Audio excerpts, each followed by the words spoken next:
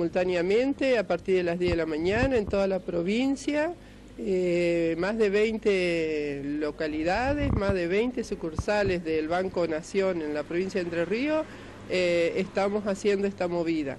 Eh, se hace de esta forma simultánea como para que en el mismo día todos los gerentes reciban este petitorio y ellos se comprometan a transmitirlo y a llevarlo a nivel nacional. Nicolás, ¿qué es lo que dice ese petitorio? Eh, básicamente pide, es un pedido de crédito a los productores, sea por intermedio de cooperativas o directo, para financiar la próxima cosecha, que lamentablemente los productores no tenemos posibilidades de, enfrentarla con, recursos nuestros y las cooperativas y los acopios no tienen posibilidad de brindarnos la financiación como lo venían haciendo eh, años atrás por, eh, por los elevados costos de producción y la cantidad de dinero que se necesita para financiar todo todo la próxima cosecha, digamos. O sea, hoy hay, hay créditos, pero las tasas son muy altas o directamente no hay nada. Eh, prácticamente eh, lo poco que hay con tasas muy altas, sí, y aparte eh, al estar eh, tan complicado el sector, eh, no es fácil de acceder. Quedamos muchos productores fuera del acceso a, créditos, digamos, directamente quedamos fuera del sistema. Por ahí los que más se perjudican son los pequeños, los medianos. Exactamente, pequeño y mediano. El grande puede tener recursos propios o por ahí tiene facilidades de que digamos los bancos le presten el dinero, no tiene respaldo, digamos. Y ese es el problema que tenemos los pequeños y los medianos, que no llegamos al respaldo, necesitamos, digamos, una ayuda extra. Eh, eh, una ayuda que sería eh, que nos presten la financiación. No estamos pidiendo nada, nada desorbitante, digamos.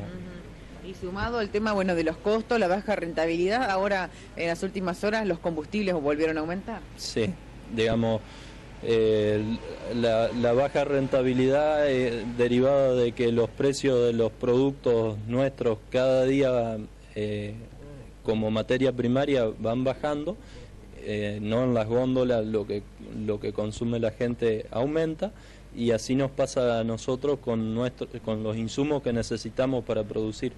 Todo va en aumento de, de a punto o, más, pero va aumentando día tras día y quedamos eh, cada vez más lejos de una rentabilidad, digamos. Ahora, Lo que quisiera destacar es que el gerente Cristian Alemán nos recibió muy bien, comprendió la situación, hemos intercambiado nuestras, nuestras ideas, nuestras necesidades, nuestras realidades. Él la, conoce muy bien porque a diario tiene los productores manifestando esto.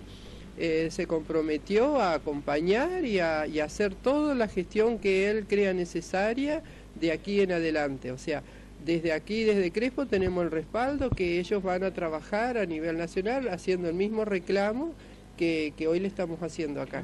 Lástima, bueno, digo, por la lluvia se malogró que vengan más productores, ¿no?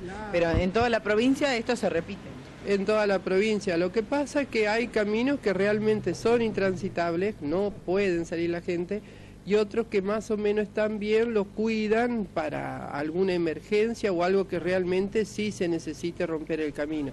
Es por eso más que nada que hoy eh, estamos en representación, pero tenemos muchos mensajes, mucho apoyo.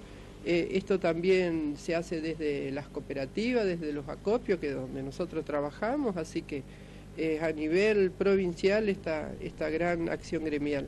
Bueno, muy bien. Destacar que las cooperativas y los acopios están pidiendo exactamente lo mismo, pues se ven en la, en la misma situación que nosotros y destacar, como decía Mariela, la, la amabilidad del, del gerente como nos ha recibido que si en todos lados eh, nos recibieran de esta manera, o no, aunque sea para escucharnos, eh, sería muy diferente la situación.